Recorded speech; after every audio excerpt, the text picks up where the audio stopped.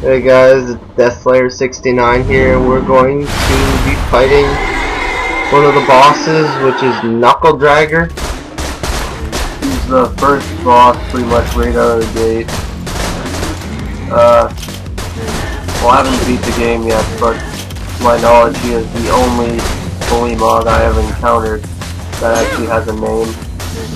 As opposed to Boner Farts or Bullymong or Primal Beast or whatever the hell other stupid name they want to give the thing. They, they called them Primal Beast at one point. They called them something else, and I forget what it is. Yeah, I can't remember either.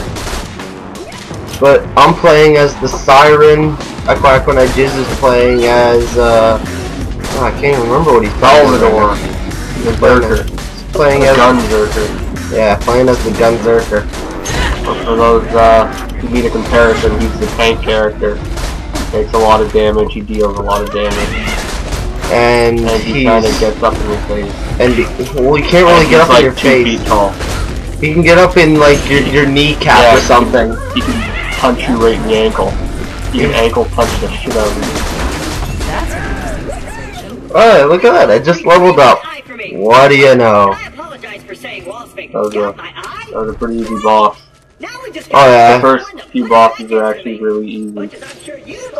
Uh, the next one, this one that we're doing, he's not really a boss, but we figured he could, he kind of, he kind of has like the same health and shit as a boss. He takes forever to fucking kill if you're not a high enough level. I actually level. think he's tougher than some of the other bosses yeah. we've had to fight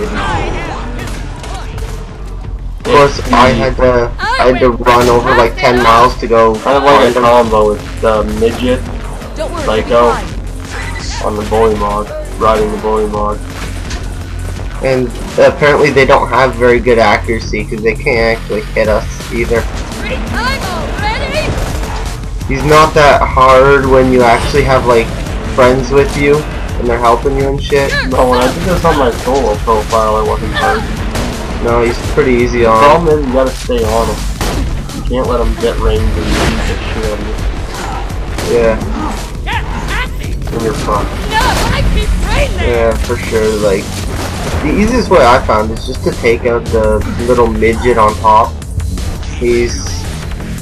He, once he's dead, the Bullymong's just basically like fighting another typical Bullymong. He's not that hard. It's just getting them off of each other that's the difficult part. The first time we did this, we actually killed the Bullymong before we killed the midget. That was kind of confusing. Yeah, and then the midget walked around real slow. Yeah, because he, he's, he weighs like a metric ton. No. Yeah, he had 5,000 pounds of armor on. Yeah. And look, I come up here, bang, this shit going off in my fucking face. I have no way to defend against that. And then, of course, I go down, because the thing throws a freaking rock at me asshole. And then you guys can't see this, but I'm standing directly where his gun is, and I was shooting him on the ground. And I cleaned him up.